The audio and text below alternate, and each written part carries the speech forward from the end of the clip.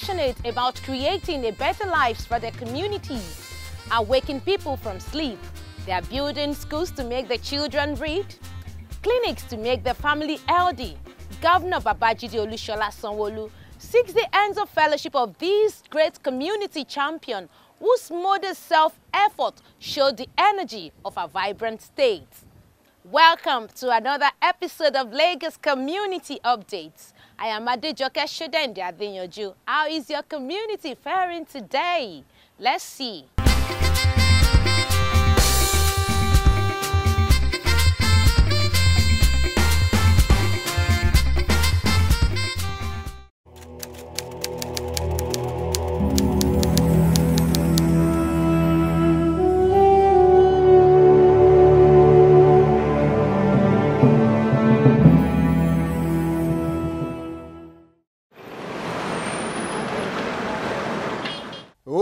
Are the arteries through which the economy pulses. By linking producers to markets, workers to jobs, students to schools, and the sick to hospitals. Roads are vital to any development agenda of a state or country.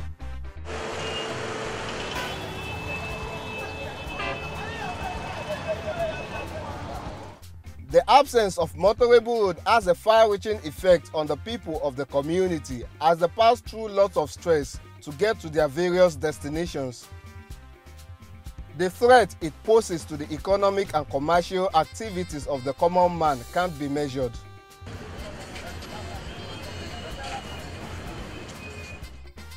Ismail Adegoroye is an artisan who plies his trade in Kao Street under Santos Phase 2 CDA in Alimosho local government area in Lagos State. He described how the poor state of the road affected his business.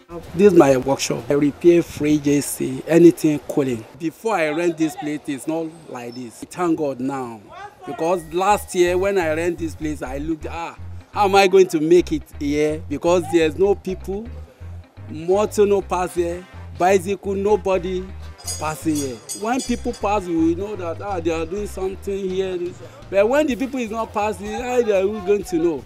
But now when the road is okay, people look at me and they will call me. So everything is going well now. We thank Governor Sanwo-Olu that he remember us and to repair our road. Um, I think Sanwo-Olu is uh, the best governor. Many like Ismail who also trade along the street have similar tales to tell, while residents relate their experience on the state of the road on Kao Street which had been a sorry sight before the state government's intervention. if rain fall na this place is very very difficult to pass.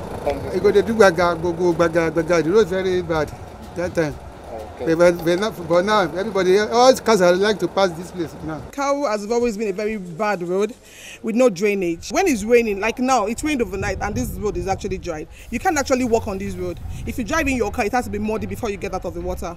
But now i think it's really really bad it's better. in fact uh, it was so bad. It was too bad for vehicles to ply. People run away from the streets before the intervention. So after the intervention people were so pleased to see the development going on. previously cow close was a waterlogged area. Very waterlogged. It is not easily passable either for commercial vehicles for car or even trekking on it. where we are standing here before like the rain that fell in the midnight this is a pool of water. We call it river cow close. Where we are standing is river cow close. Before but now we can stand without going through any river everything has changed. Now that Mr. Babajide Sanwo-Olu has yielded to their calls by rehabilitating their road, the joy of the people of Santos Phase 2 CDA knows no bound as they commend the governor for his swift response to their calls. The governor has a lot of things to do for us, so that's the reason why Cow Close comes about. It was an assurance directly from the governor that it is, is going to be done. At the start of the project, they were now looking, and to the completion, it was an excitement on their part. They were so happy.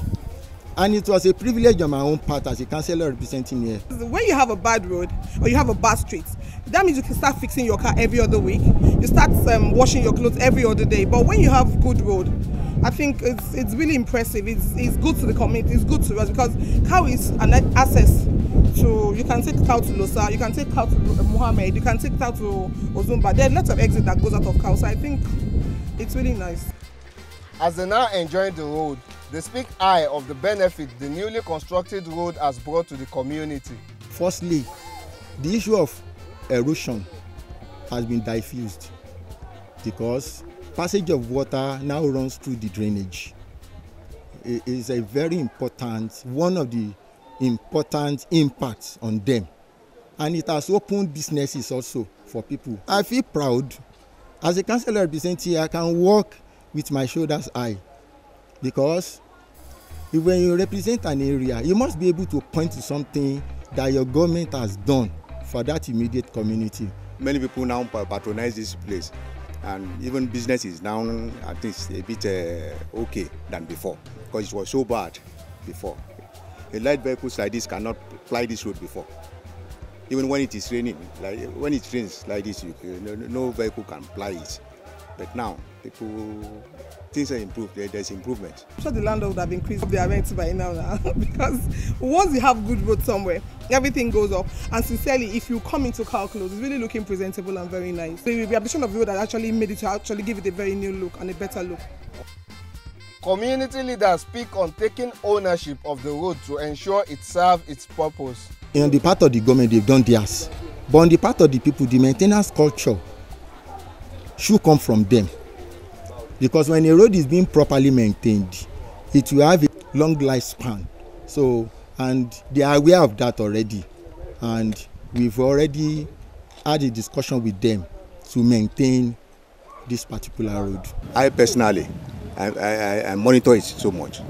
I monitor road so so much because I know the the impact the road is giving the community. So I, I monitor it so much, and we have been educating the people not to not to toy with the this thing.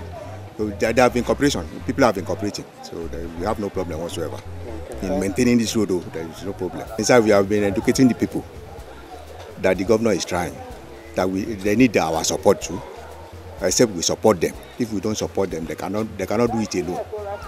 Financially, physically, and whatever we have to support them.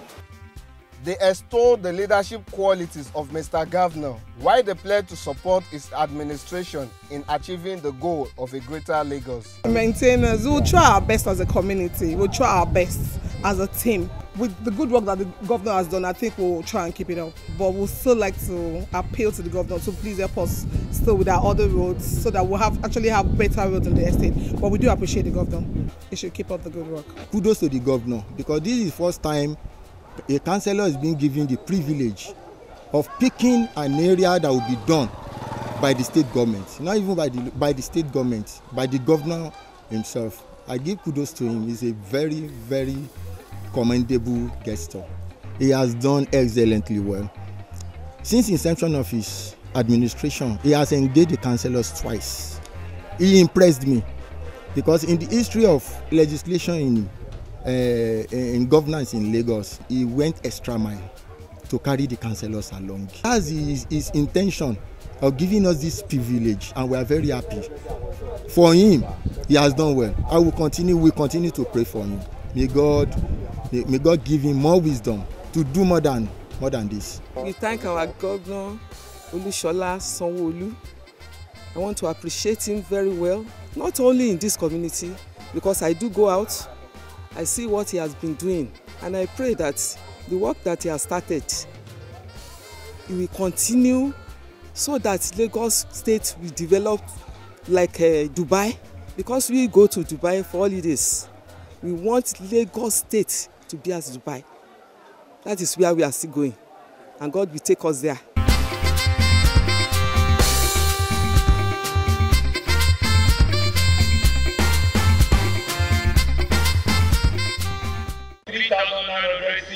We, we, we, our CDC and our CDA are the real engines of growth. They are the owners of all our interventions in government. you need to ensure that once we set contractors out, you monitor them to ensure that they do and deliver quality service so that the schools and the hospitals and the roads that they are building meet the standard that is required of them. Every community needs basic amenities for habitable condition. While some are expectant of government intervention, others are not relenting in helping themselves to help the government.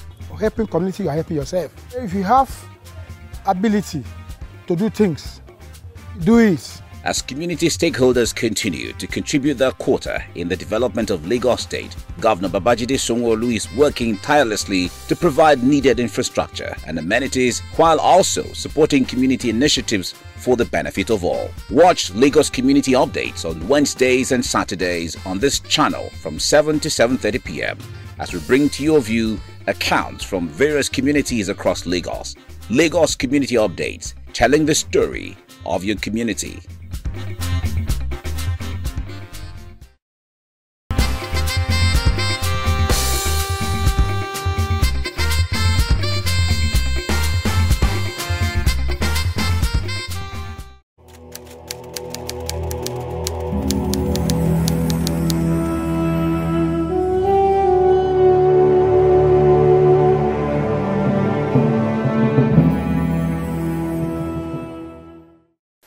Governor Babajide Sanwo-Olu is currently doing well, said.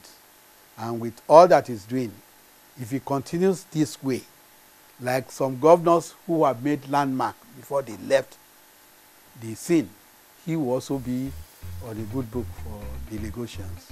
Lagosians and indeed Nigerians will not forget in a hurry the proactive approach of Governor Babajide Olushola Sanwo-Olu in curbing the spread of the ravaging COVID-19 pandemic and saving the lives of millions of Lagosians and Nigerians at large from the first wave till date. This rare display of courage is one of many traits of greatness innate to the personality of Mr. Governor of Lagos State. Little wonder, health is one of the vocal points of his THEMES agenda in the journey to a greater Lagos.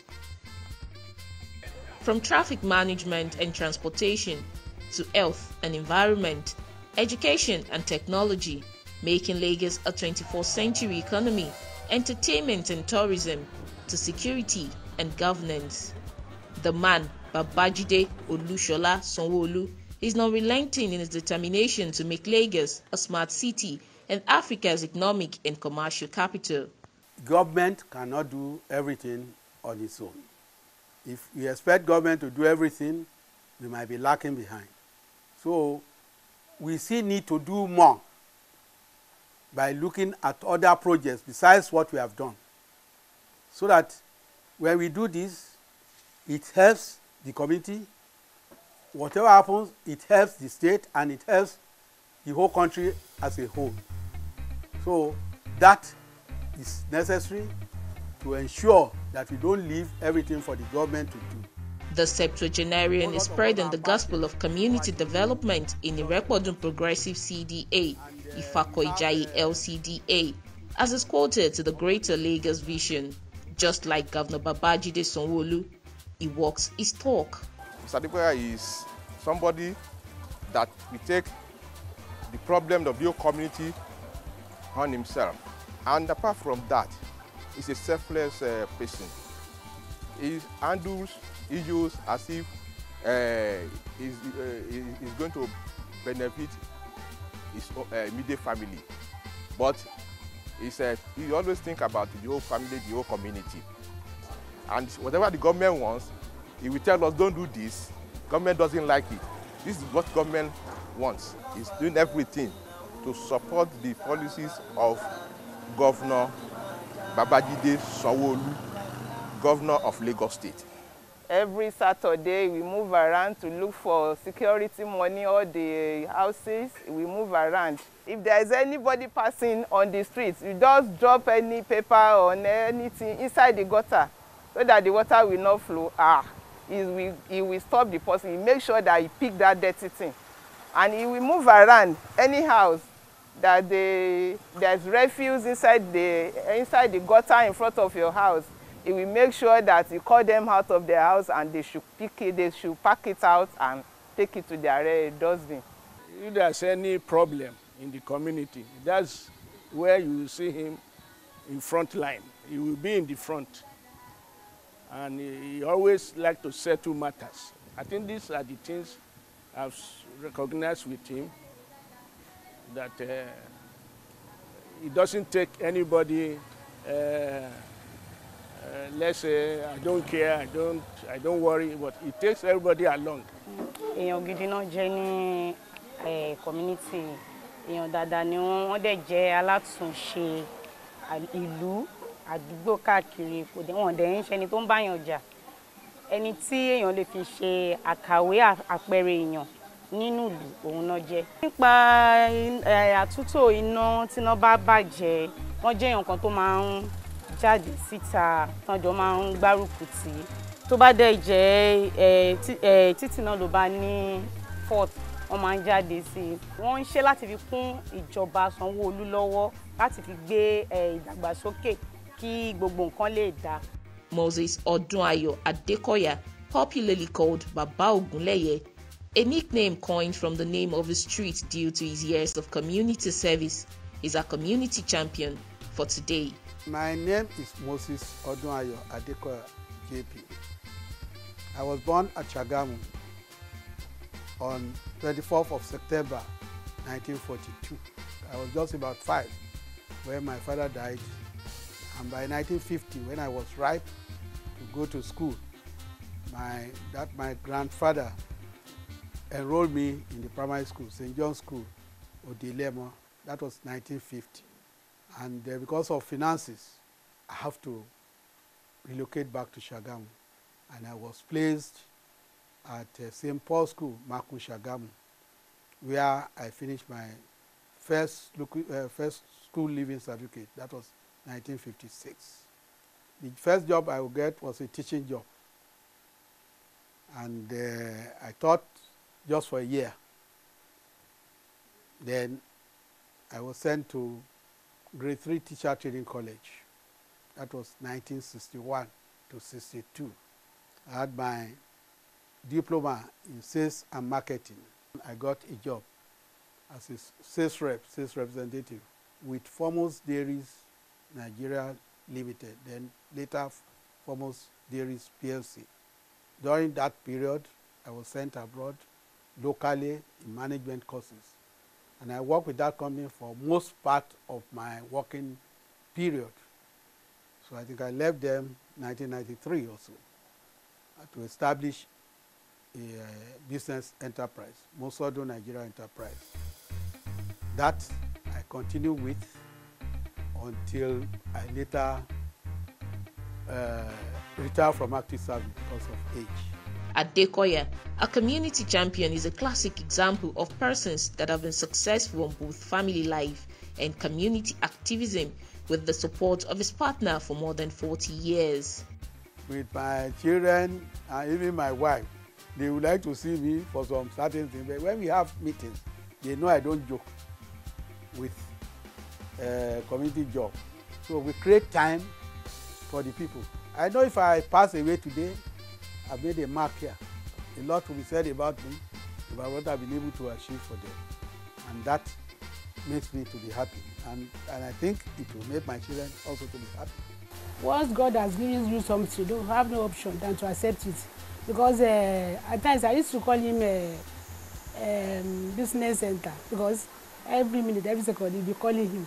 If they did not call him for NEPA, they will call him for street, they will call for missing, all sorts of things. He's so occupied. I don't feel bad so much because the people he's doing it for, they do appreciate him. And they even use that uh, his uh, own uh, this to appreciate me as well. So that is how we left him, and uh, that makes him to be up and doing because uh, for him to just be sitting down in the house could cause uh, a lot of hard work for him. Through that uh, one he's doing, he does uh, a lot of exercise. He exercises himself. I will want uh, my children to be doing as he's doing because and thank God one of them is even doing even about two or three of them are even doing it because uh, some of them are leaders in their community too. Government is a continuum, and sticking to the developmental roadmap plan is the only means to achieve such goals within the stipulated time frame. Governor Babajide Sanwo-Olu. Moses Odunayo Adekoya, our community champion for today, applauds Governor Babajide Sanwo-Olu for following the blueprint of Lagos State in the bid to attain the mega city status and becoming Africa's economic capital of, of the 21st century. I will uh, say the governor has really tried because I keep on to my television and I watch what the activities have been. Involving himself personally, he took the mantle. Himself and the health commissioner, I watch them a lot. They are, they are frontliners and that's why that is not a medical person. He faces the challenge well and was making sure that things are done the right way. I think he should keep on the way he's doing. Because when he took over, he promised that most of the projects that uh, the outgoing regime could not complete, he would do. One of them is uh, the Pen Cinema. And when you talk generally, he has done a lot uh, all over the state. Because you get here, uh, uh, you see this is a project being carried on by the state government and so on and so forth. Governor Babajide Sanwo-Olu is currently doing well, I've said. And with all that he's doing, if he continues this way, like some governors who have made landmark before they left the scene, he will also be on a good book for the Lagosians.